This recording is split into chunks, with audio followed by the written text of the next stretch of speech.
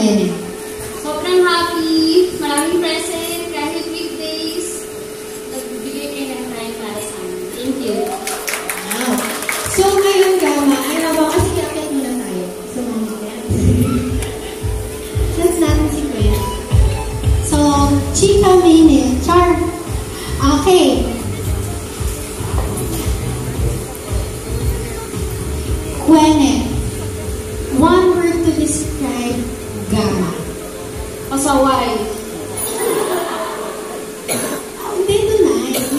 Ngayon.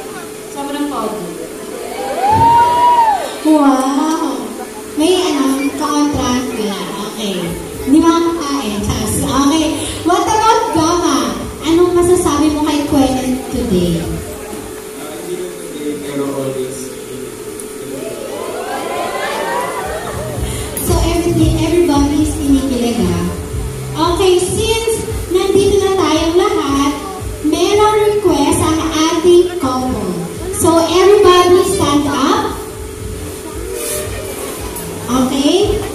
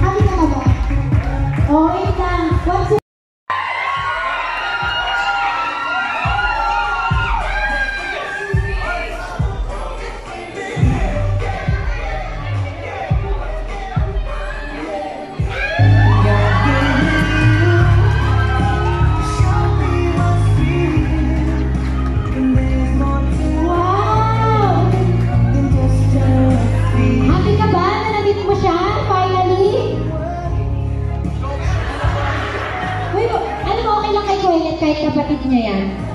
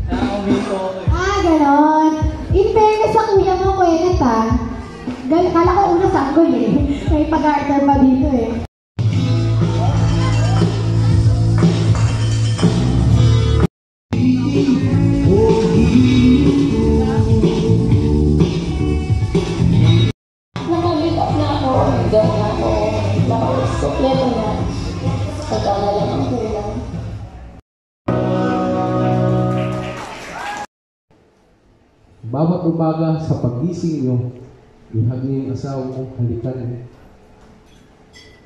Mahalin mo lang ito. Hanggang sa pagtanda nyo, yung tinatawag na companionship, nandyan.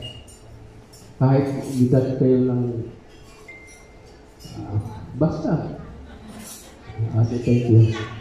Ah, yun lang, yun lang papakuha ko. Yung tinatawag na unconditional love. Kasi walang limit yan. Walang limit talaga yan. Thank you. Well, at ni Gama, at sa mga kamag-anak ko, kamag-anak din ni Gama, thank you sa lahat. Lahat-lahat. Raise your own family. Bigyan nyo kami ng apo Yes! Para meron kami maalagaan. Pareho, pareho kami sabik na sa apo. Yung parang balay ko.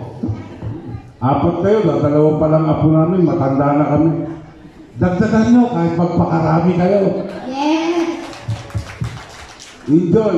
Live a life to the fullest. Good luck.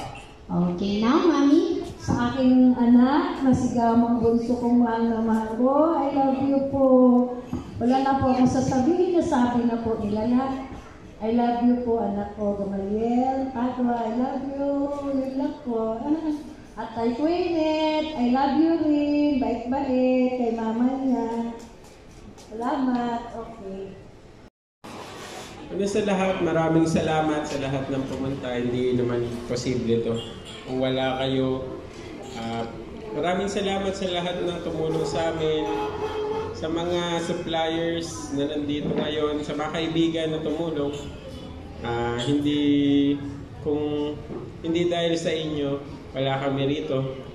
Tsaka maraming salamat din sa lahat ng ano, nagtiwala. Tsaka nagbigay ng ano, mga sentiment nila tungkol sa sa amin dalawa ni Gwyneth. Pero um, papangako ko naman sa inyo na mamali ko si Gwyneth kung yun yung ano. Yes! Ano? Ah. Meron pa? Sana patuloy nyo kaming ano, tulungan, suportahan, gabayan. Kahit mag-asawa na kami, ano, open naman kami sa iba't ibang klaseng madali naman kami lapitan or also if you need any help andito lang kami tsaka ano kapag friend kapag sinabing Kwenet hindi na pwedeng si Kwenet lang dapat kasama na lagi si Guama Yeah! thank you Okay, Kwenet, ikaw naman ang sasabihin mo. Ako, since ako yung nag-organize dito from the start.